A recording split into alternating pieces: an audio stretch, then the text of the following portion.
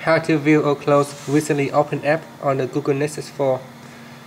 Every time you use an app, then your phone, the, then the app is added to the recent app list.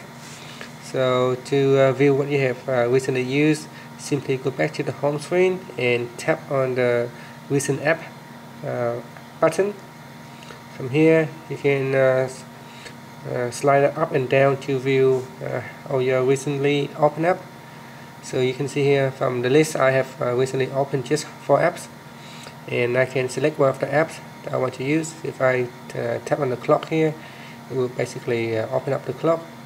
So if I want to uh, let's say close uh, some of this app here I can just simply uh, slide across like this to close it. So you can slide across to the left or to the right and it will basically close or remove from the recently opened app list Thank you for watching this video. Please subscribe to my channel for more video tutorials.